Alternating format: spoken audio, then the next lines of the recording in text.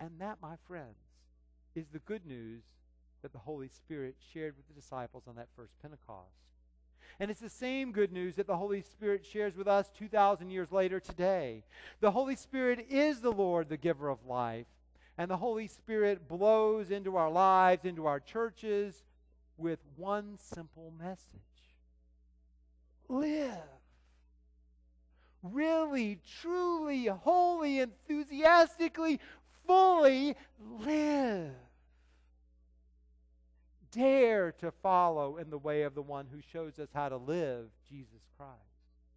Love your neighbor, care for the sick, feed the hungry, comfort the mourners, visit the prisoners, clothe the naked, give water to the thirsty, stand for justice, pray for your enemy, give with abandon, care for immigrants, pursue peace, speak truth, worship God, love and serve Him only. In short, all the Holy Spirit invites us to do is to make a reasonable attempt to be like Jesus, to live a life that's real, that's really living. All we have to do, I hear you saying, John, don't you understand how terrifying that is? Don't you understand how totally inadequate we feel? Well, yes, actually, I do understand that. And I suspect that those early Christians on that first Pentecost felt exactly the same way.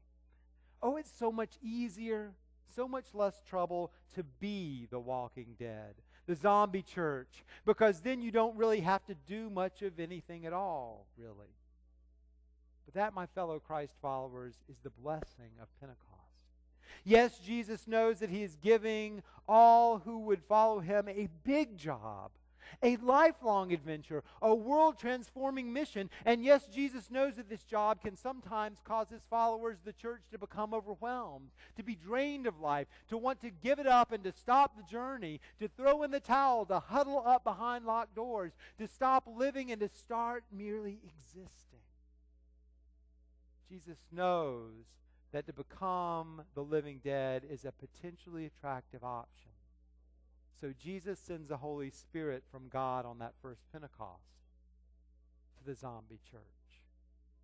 God breathes his life giving presence on the church of the walking dead to give them life, to give them strength, to give them all the will and the wisdom that they and you and I need to do the job.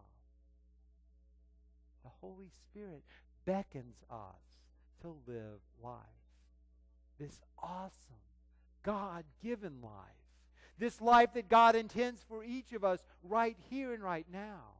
Brothers and sisters, it's the presence of the Holy Spirit that makes it possible for you and me to know life in Christ and to share that good news with others. And just like it was on that first Pentecost, you and I aren't in control of what the Holy Spirit will do and when the Holy Spirit will do it.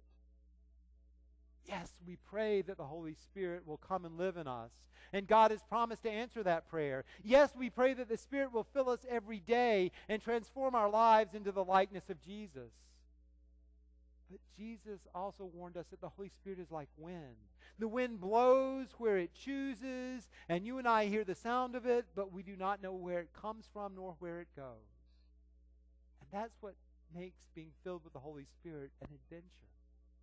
It's not about designing a foolproof program to reach every home in our neighborhoods with the good news of Jesus. Rather, it's about praying that the Holy Spirit will fill us and guide us each day to the people He's already working on. Praying that He will give us ears to listen to them and words to speak to them at the right time.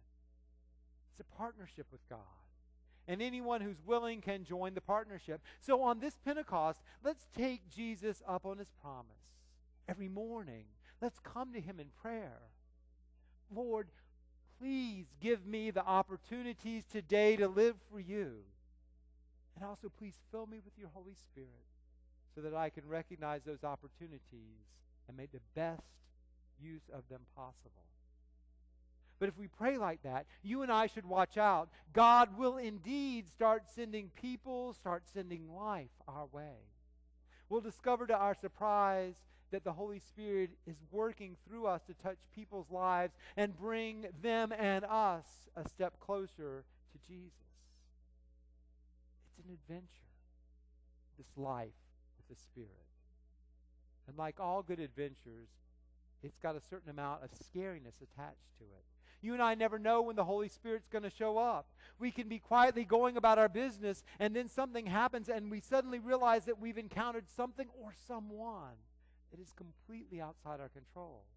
It's like we're playing a game of pool, and we think that we know where our ball is going to end up, but then suddenly some invisible force raises the other side of the pool table, and suddenly we're dealing with a different set of circumstances. This is not about religion. Religion is about ceremonies and rituals that are predictable and safe. The Jewish people wanted a religion. We've heard today in the Old Testament that when they saw the awesome God at Sinai, they said to Moses, You go talk to him for us, and we'll do whatever you say.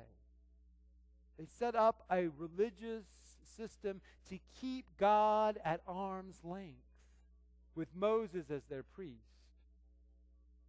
Today, a lot of people try to do the very same thing. But Christianity isn't meant to be that sort of religion. It's meant to be a transformational encounter with Jesus by the power of His Holy Spirit. It's unpredictable, it's thrilling, it's scary and exhilarating, it's joyful and dangerous. For you and me to put our trust in the Lord, the giver of life, is to get on board a roller coaster ride. Where is it going to end up? I have no earthly idea. That's completely up to God. But don't worry. It's true that the Spirit is not a tame lion, nor is the Spirit safe. But the Holy Spirit is good.